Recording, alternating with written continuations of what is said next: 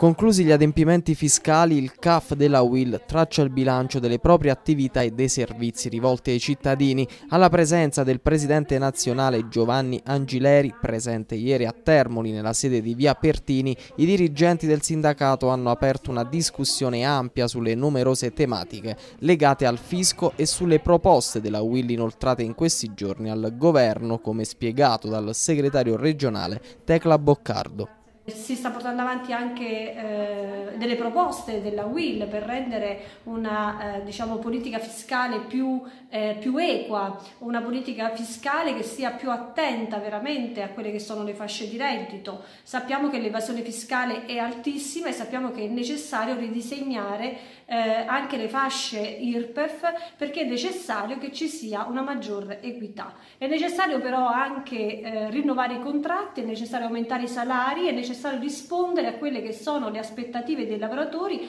anche dal punto di vista previdenziale ad esempio perché questo è un momento in cui si sta anche affrontando con il Ministero del Lavoro tutta la questione della previdenza. Intanto il lavoro del CAF Will ha fatto registrare un milione di pratiche a livello nazionale, mentre in Molise sono oltre 18.000. Numeri importanti hanno commentato dal sindacato, il quale ha messo in evidenza inoltre come sia migliorato anche il rapporto tra lo Stato e i cittadini grazie all'intermediazione professionale degli operatori specializzati dei centri di assistenza fiscale, tra le varie incombenze anche quelle del reddito di cittadinanza con 100.000 pratiche evase a livello nazionale sulla questione, questa l'analisi del presidente Angileri. È andata bene per noi per il numero di domande che abbiamo, che abbiamo trasmesso all'Inps, noi eh, abbiamo trasmesso circa 100.000 domande su eh, un numero diciamo, complessivo di oltre un milione di, di domande. Eh, per cui su, sui numeri insomma per noi c'è stata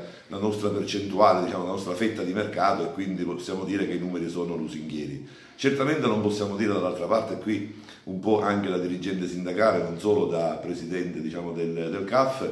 eh, noi pensavamo che le politiche attive del lavoro sarebbero state eh, un, po', un, po', diverse, insomma, ecco, il reddito cittadinanza sì, molto buono, eh, perché deve, deve, doveva aiutare diciamo, l'inserimento nel mondo del lavoro di chi oggi non aveva un'occupazione. E con la stessa visione vedevamo diciamo, i navigator, eh, cosa che purtroppo ad oggi i navigator sono stati assunti ma non hanno avuto quel ruolo e quella funzione che si sperava nella, nella stessa legge, che era quella di indirizzare i disoccupati nel mondo del lavoro. lo stimolo in più eh, per sostenere anche psicologicamente a volte, no? perché, perché, accade anche questo. E quindi io Roberta ti ringrazio, ma soprattutto la ringrazio per la competenza. Abbiamo scelto bene.